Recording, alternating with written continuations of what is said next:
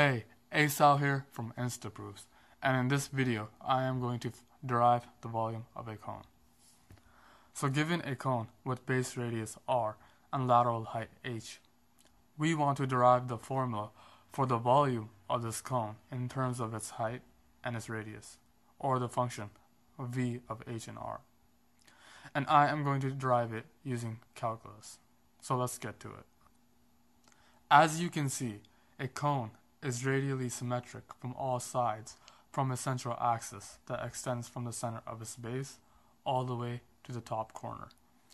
In other words, if we took a right triangle with one length side labeled H and another length side labeled R and placed an axis, say the central axis for the sake of our proof, along the H side and revolve this triangle about the central axis a full 360 degrees, we would get a cone with radius r and height h.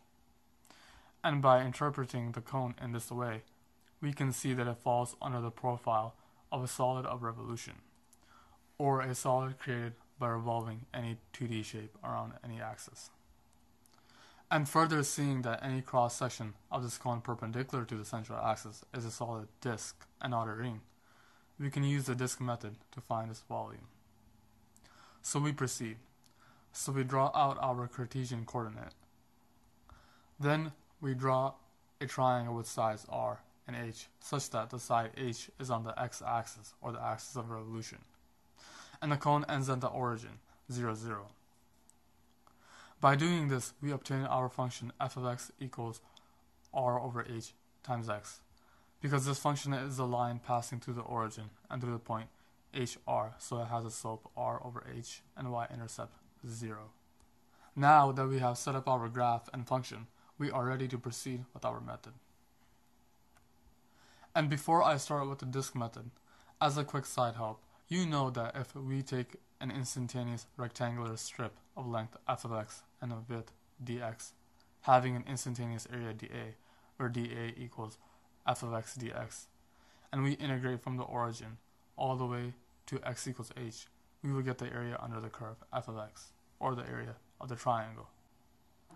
But similarly for our disk method, if we replaced our instantaneous strip with an instantaneous cylindrical disk of radius f of x and height dx, so with this instantaneous volume dv equal to pi times f of x squared times dx, because well, the volume of this cylinder is pi times its height times its radius squared.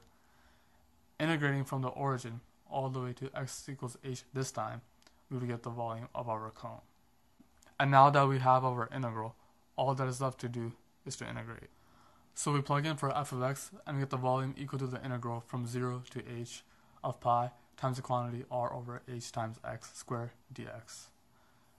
We distribute the square and we pull out the constants and then we get pi times r squared over h squared of the integral of 0 to h of x squared dx. Integrating, we then get the following. Plugging in our limits, the bracket simplifies to h cubed over 3, and seeing that h cubed over h squared is simply just h, we then arrive at h times pi times r squared over 3. And this here is a formula for the volume of our cone.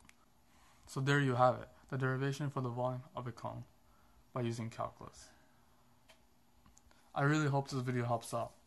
Until next time, thanks for watching.